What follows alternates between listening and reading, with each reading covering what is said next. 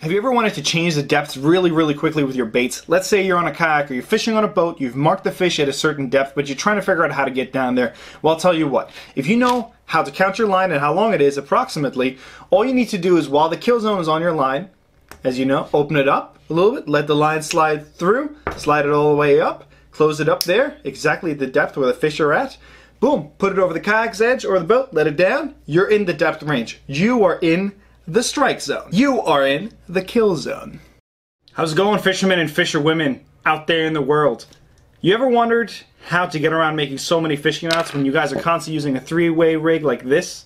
You gotta do one knot up here, one knot over here, one knot down over here too. It gets really tiring after a while, and that's why nowadays we've got the new Kill Zone fishing system. This thing is gonna change the way that you fish three-way rigs or even your Carolina rigs. You can switch over between each one very quickly and easily. We're going to talk about that right now. Here's how you open it. Okay? Index finger right here, thumb over here, thumb on this one right here, index finger in the back, using it. Boom. Push only with your thumbs, use the index fingers for support. You're going to separate it into two pieces. Click it back together. This is how you rig the Killzone fishing system. Here we have 30 pound FluoroKote. And what I'm going to do now is, it's so simple, that it made me feel stupid. You got your kill zone right here, right? Here we got the kill zone. We're going to put our line, as you can see, we're going to feed it right through here. Not through that hole, but through the other hole right there. Not through that hole either. There we go. So you see, right through here, you can see it through here. We're going to feed it through like this. Now, let's find a depth where we want to put this at, okay? So let's say I want to put it up about 18 inches from my bait real quick and easy. Now I get this second piece right here that you guys have been wondering what the heck do I do with the second piece, right? And we're going to look for the line over here. We're going to find that line right here. We're going to feed it. You see it goes through here, over here. Now we're just going to close, boom, the kill zone, it makes click. And there you go, it's on there. Now, we want a leader, and this is where it becomes essential.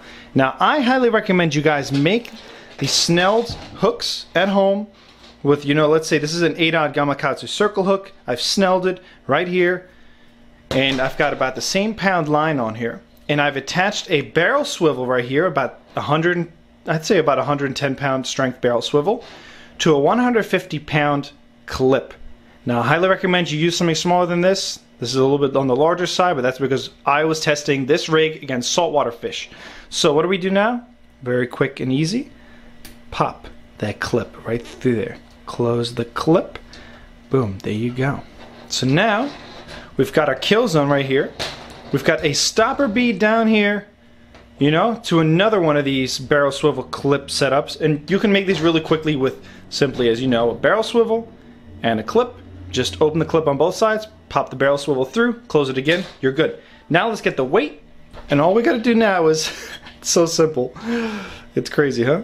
Attach the pyramid sinker right there. There's our weight. Now we go further up on the line. Let it go through. And there we go.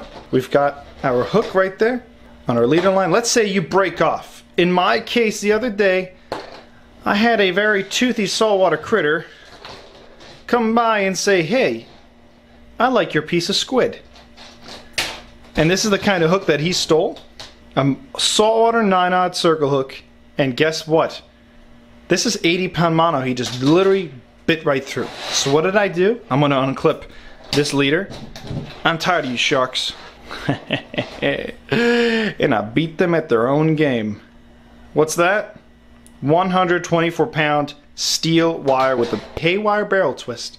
Yep, that's simple. Let's say the fish are becoming a little bit more finicky.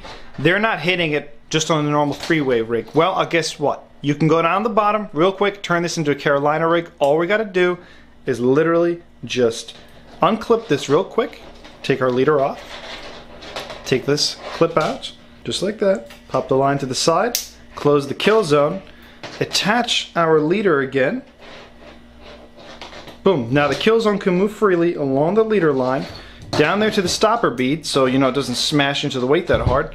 And you know when he's taking line, it'll take line this way And there you go. The resistance of the lead will usually already set the hook pretty good for you. The circle hook, boom. The moment that lead hits that kill zone, you've got direct contact with the fish. Hook set. Either a three wig, Carolina rig, however you want to do it. Simple, quick, easy. Now the Killzone system, of course, has its limitations as every product does. So I highly recommend that you don't use any fishing line when it comes to a fluorocarbon or copolymer or monofilament below 10 pounds about all the way up to 80 pounds. It'll still be good between those ranges, anywhere from 10 to 80. When it comes to braid, 50 pound or 65 pound like this, end up will work too. If you want to get in on this while it's still pretty inexpensive, you want to give these a try, $6.38 for five that come in a bag. You're going to get a nice little bag with five of these in it. And soon enough, if you really like them, guess what? We're going to be selling bulk. So go to the website right here. Check the link on Amazon down below in the description. Go check out the Killzone fishing system. Killzone fishing system. It puts you in the strike zone. Go check it out. Order yourself some. It's going to change the way that you fish forever.